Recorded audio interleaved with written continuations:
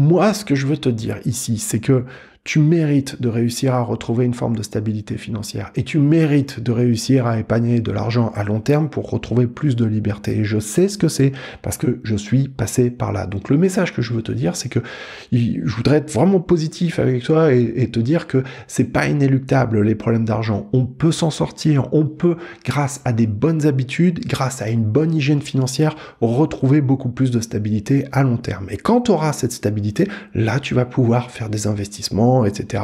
Vouloir essayer de ben, faire des trucs un peu plus intéressants, faire de l'immobilier, même avec des petits montants, on peut faire de l'immobilier, faire du crowdfunding, euh, investir peut-être euh, dans l'immobilier comme des parkings, faire un peu de bourse au travers d'ETF, faire des choses comme ça. Il y a plein de choses qui sont vraiment formidables et super intéressantes à faire. Enfin voilà, moi ça fait partie des choses que j'apprends à mes clients, mais il faut d'abord vraiment mettre en place une structure qui va te retrouver, qui va te permettre d'obtenir beaucoup plus, beaucoup plus de sécurité financière, de stabilité financière. Aujourd'hui, eh bien, on va voir comment tu vas facilement retrouver une stabilité financière avec un plan d'action que je vais t'expliquer et que tu vas pouvoir appliquer dès maintenant. C'est parti. Alors tu sais, cette chaîne Frugalisme et Liberté Financière, ça fait déjà plusieurs années hein, qu'elle tourne, que j'ai voulu commencer à faire ça pour essayer d'aider un maximum de gens. Si tu me connais pas, moi je m'appelle Jérémy, euh, je suis auteur d'un livre sur l'éducation financière qui s'appelle Un salaire sans rien faire ou presque, c'est aux éditions Robert Laffont, je suis également formateur et j'aide mes clients, je les accompagne pour leur apprendre à mieux investir leur argent, essayer de le faire travailler à leur place pour avoir plus de sécurité à long terme, c'est l'objectif. Donc si ça t'intéresse, je t'invite à regarder là ici en dessous, tu vas pouvoir trouver mon, catalogue de formation et peut-être qu'il y a des choses qui sont susceptibles de t'intéresser là-dedans. Mais avant d'aller plus loin, je t'invite à télécharger, et ça c'est absolument gratuit, un guide dans lequel je vais te présenter une liste d'actions que tu vas pouvoir appliquer pour sécuriser ta situation financière, même si tu pars de zéro. Tu vas trouver un lien en dessous de cette vidéo, tu rentres ton email et je te l'envoie directement dans ta boîte. Voilà, c'est pas plus compliqué. Je rappelle également que si tu aimes mes vidéos, mes contenus, je t'invite absolument à lâcher le pouce pour soutenir la vidéo, faire grandir l'audience et t'abonner à la chaîne tout en cliquant la cloche c'est important aussi si tu veux pouvoir être tenu au courant quand je fais des nouveaux, euh, des nouveaux contenus, des nouvelles vidéos. Vous pouvez me retrouver en podcast sur toutes les plateformes, ça s'appelle Frugalisme et Liberté Financière. C'est hyper important de se désendetter, tout particulièrement aujourd'hui, euh, où on est dans des situations qui sont de plus en plus difficiles pour tout le monde à cause de, la hausse des prix, à cause de l'inflation, à cause de la difficulté euh, à, se loger, à, bouger à cause du, prix du carburant, etc. Peut-être à se enfin voilà, tu vois, à, manger aussi, tu vois, tout devient plus cher, donc ça devient plus compliqué.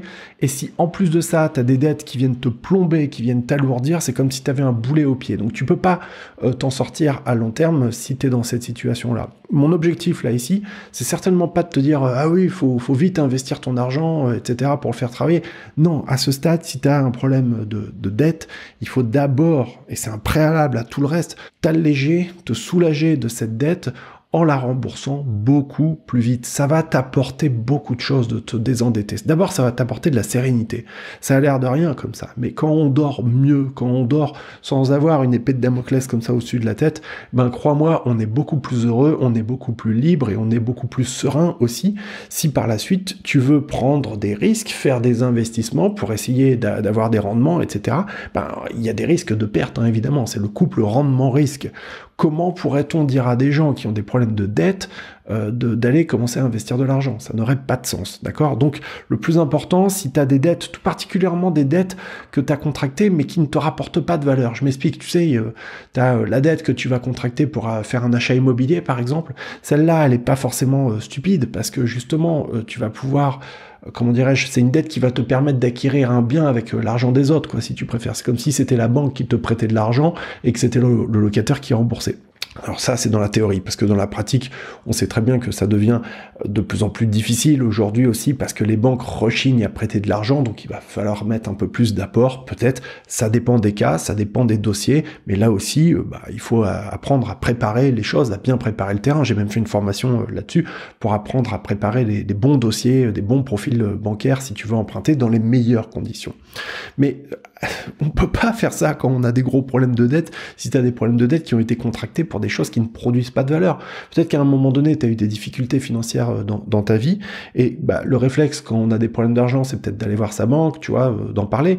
Seulement, faut voir que le conseiller à l'agence, lui, bah, qu'est-ce qu'il va faire? Eh ben, Il va essayer de te refourguer une autorisation de débit ou un crédit à la consommation ou des trucs qui vont faire que ça va t'aider sur le coup, ça va t'apporter une bulle d'air sur le coup, mais à ça va te plomber parce que ça va te rajouter une charge supplémentaire qui va être bah, justement un boulet supplémentaire que tu vas devoir te traîner au pied. Donc ça, c'est important hein, de vraiment prendre ça en compte si on veut réussir à être plus libre.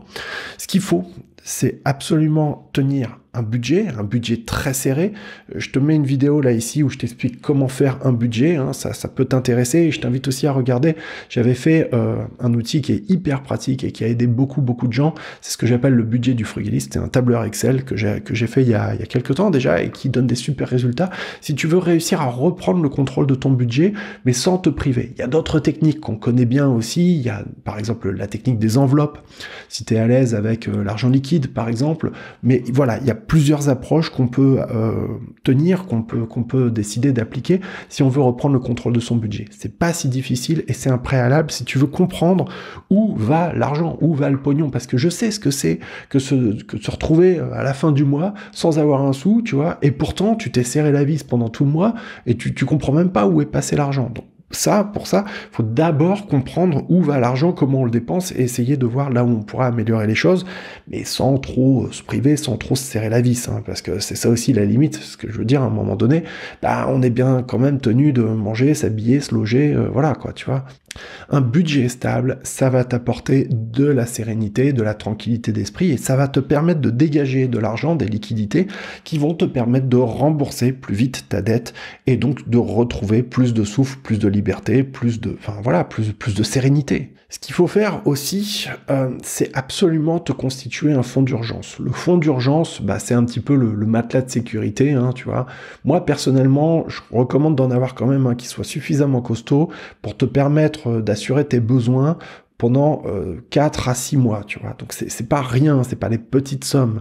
Euh, pour moi, ça correspond à un budget d'environ 6 000 à 8 000 euros, tu vois. Euh, mais, voilà, et quand on a cet argent de côté, qui est notre matelas, de notre bulle de secours en cas de pépin majeur, Ensuite, on peut aller faire des investissements, mais pas avant, d'accord?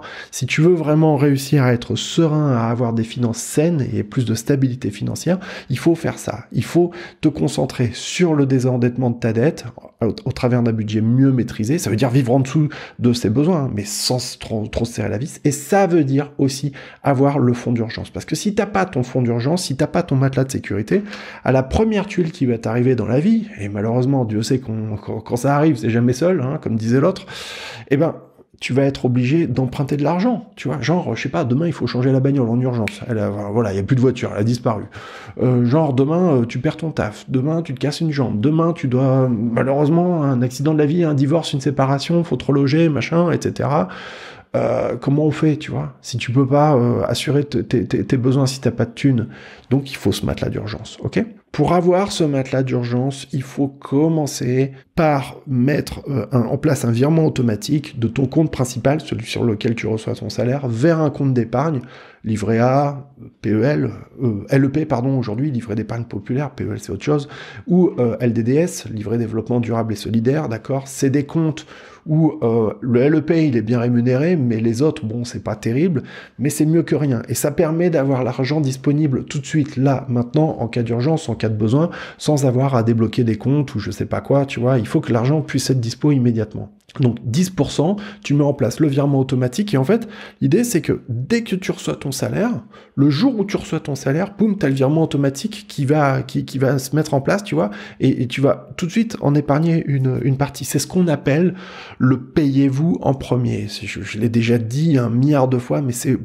hyper important. C'est la première des choses à faire. Tu es plus important que tous les autres créanciers. Tu es plus important que tous les autres, d'accord?